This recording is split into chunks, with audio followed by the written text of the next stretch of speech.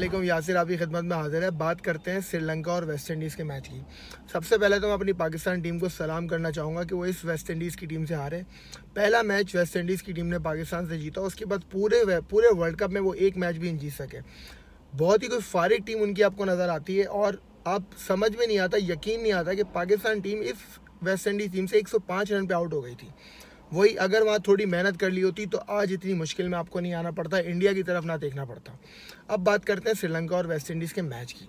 उन दोनों टीमों को जब आप खेलते हुए देखते हैं तो आपको ऐसा लगता है कि कोई डिवीज़न टू जैसे यहाँ पे स्वीडन में डिवीज़न टू खेलती है ना, जिस तरह से, उस तरह की से ये दोनों टीमें क्रिकेट खेलती हैं। पहले श्रीलंका ने बनाया तीन सौ अड़तीस रन, अब आप सोच रहे होंगे तीन सौ अड़तीस रन श्रीलंका की टीम ने बना दिए, उनके एक नए खिलाड़ी हैं, उन्होंने हंड्रेड बनाया और उन्होंने तीन सौ अड़तीस रन बना दिए। जब वेस्ट इंडीज़ की टीम चेस करने के लिए आई, अगेन उनकी तरफ़ से विकटें गिरती रहीं, फिर उनके निकलस पूरा ने उन्होंने हंड्रेड बनाया।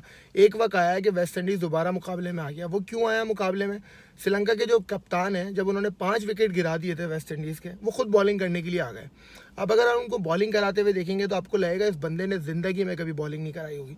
वो खुद बॉलिंग कराने के लिए आ गए। अब उनसे कोई पूछे, भाई, आप क्यों बॉलिंग कराने के लिए आ गए? आप वर्ल्ड कप खेल रहे हैं, आपको मैच ही जीतना। एनी वे पाँच आउट हो गए थे फिर उन्होंने अच्छी पार्टनरशिप लगाई। वेस्ट इंडीज़ ऑलमोस्ट गेम में आ गया और शायद पाँच ओवर में सिर्फ़ सैंतालीस रन चाहिए थे जब वो खेल रहे थे पूरन और आ, क्या नाम है आपका फबियन आलन उसके बाद पूरन की सेंचुरी होने वाली थी उन्होंने उनको रन आउट करवा दिया। उन वो इतने उतावले हो रहे थे अपनी सेंचुरी के लिए तो ये उन्होंने उनको रन आउट ही करवा दिया। जब फेबियन एलन आउट हो गए तो उसके बाद ऑलमोस्ट गेम ओवर हो चुका था लेकिन श्रीलंका ने कहा नहीं हम अभी भी आपको चांस देंगे। उसके बाद दो तीन कैचेस हवा में गए, श्रीलंकन फील्डर्स ने छोड़ दिए। उनके जो बॉलर थे, वो लेग साइड पे बॉलिंग करा रहे हैं, आधी पिच पे बॉलिंग करा रहे हैं, जब उनको ऑलमोस्ट मेरे ख्याल में शायद चार ओवर में चालीस रन चाहिए थे, इस तरह की ख़राब बॉलिंग हो रही थी।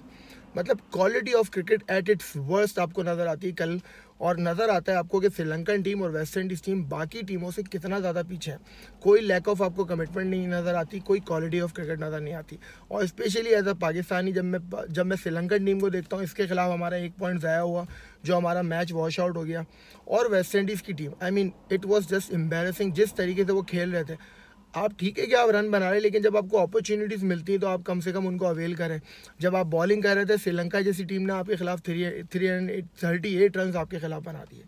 एनी वे एक poor perform poor cricket match आपको नज़र आता है, और थैंकफुली इन दोनों टीमों की शायद मेरे ख्याल में अब एक मैच इन लोगों का रह गया है। आपके साथ दोबारा मुलाकात होगी। आज बहुत ज़्यादा इंपॉर्टेंट मैच खेला जा रहा है बांग्लादेश और इंडिया के दरमियान में। इन बांग्लादेश अच्छा परफॉर्म करे बांग्लादेश इंडिया को हराए और एक अच्छा मैच देखने को मिले, ताकि इस वर्ल्ड कप के अंदर जो एक थ्रिल है वो कायम रहे।